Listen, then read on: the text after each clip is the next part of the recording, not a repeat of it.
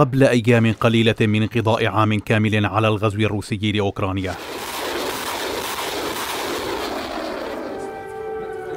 الرئيس الأمريكي جو بايدن يوجه رسالة لنظيره الروسي فلاديمير بوتين لا تحتاج لتأويل أو تفسير عبر زيارة مفاجئة غير معلنة لكييف.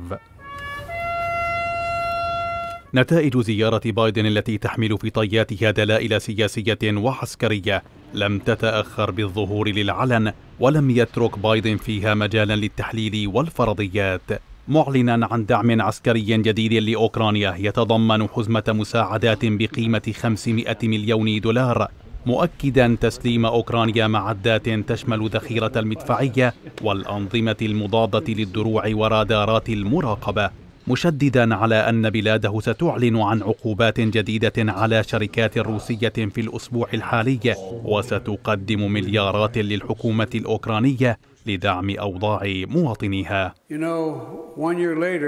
كما تعلم بعد عام واحد تقف كييف وتقف أوكرانيا.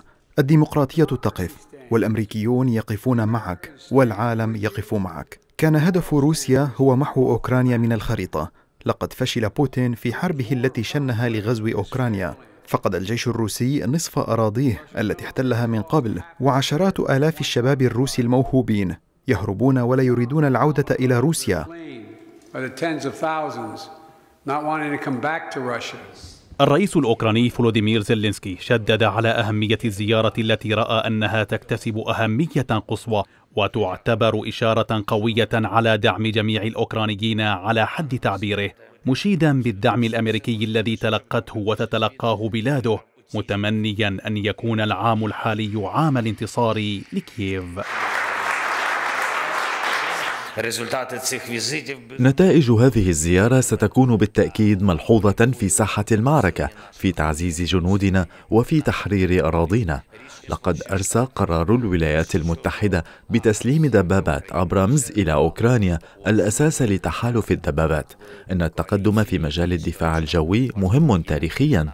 وها هي صواريخ باتريوت لحماية مدننا. هذا تعزيز أساسي حقا.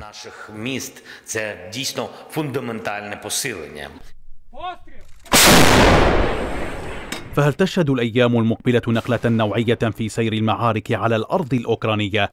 أم إن بوتين وقواته عازمون على تحقيق مكاسب في الذكرى الأولى لبدء غزوهم لأوكرانيا بخلاف ما عجزوا عنه في عام كامل؟